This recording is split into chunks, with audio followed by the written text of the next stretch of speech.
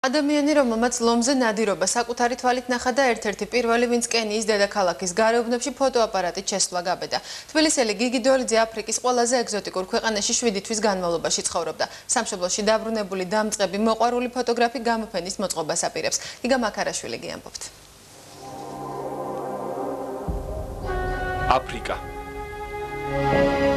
კენია 2005 წელი მასაიების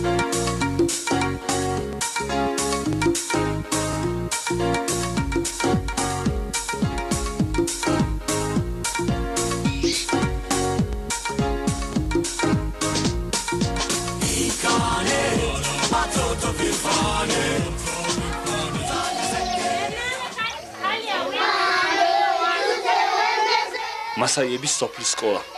ერთი საგანი, ერთი მასწავლებელი და 22 მოსწავლე. 21 საუკუნის აფრიკაში მსგავსი ადგილები ჯერ კიდევ ბევრია.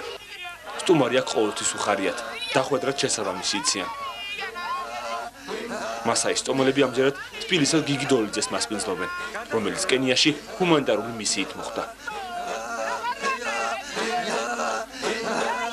ესეც არის ტრადიციული მასაი, მასაების საქორწინო აქსესუარია, ეს სოლი რომ მოყავთ ხომ ესე უჭირავთ ხელში.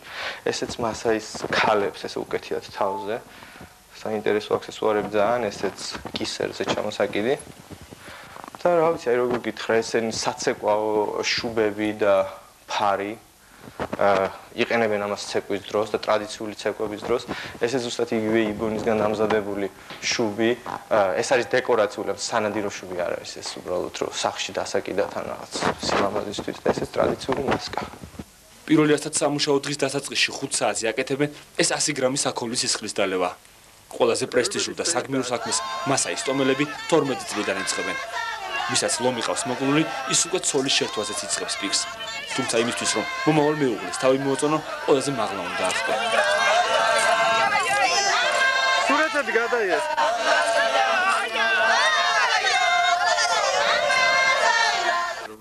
გიგი დოლიძის შვიდთვიანი აფრიკული მისია ადგილობრივი არასამთავრობო ორგანიზაციებისთვის მენეჯმენტის დარგში ტრენინგები ჩატარება იყო.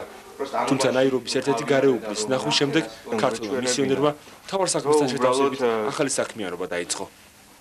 თქოს ისეთი ჭორიც გავარდა იმ უბანში რომ ეს შიცი თეთრები შემოტანილია რომ ამ ბიჭს რატო არ ეშინია ეშმაკია და ეგეთი რაღაცები უბრალოდ ვერ ხვდებიან რომ ესე ადვილად ეს დაავადება არ გადადის და სუსტად იგივე მომენტი ახლა აქაც თქვა რომ გაიგოს ვინმეს რო ჭირდეს მსგავსი რაღაცა პირიქით არ უნდა უთხრა უარ პირიქით უნდა დავდგე გვერდში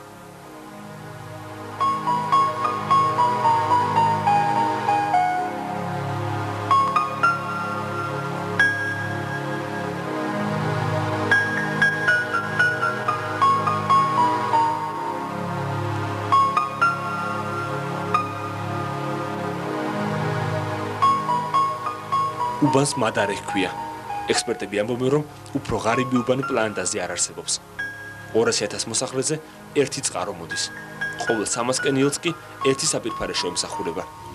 მოსახლეობის 45% შიცის ვირუსით არის ინფიცირებული. თრიანად ქვეყანაში კი ვირუსით დაავადებულთა რიცხვი საშუალოდ 10%-ია.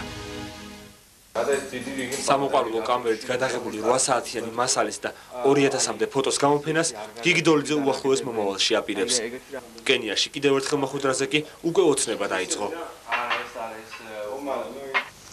კენიიდან საქართველოს კერძოდ იმერეთში გადავინაცვლოთ საბჭოთა პერიოდის პარკები და 20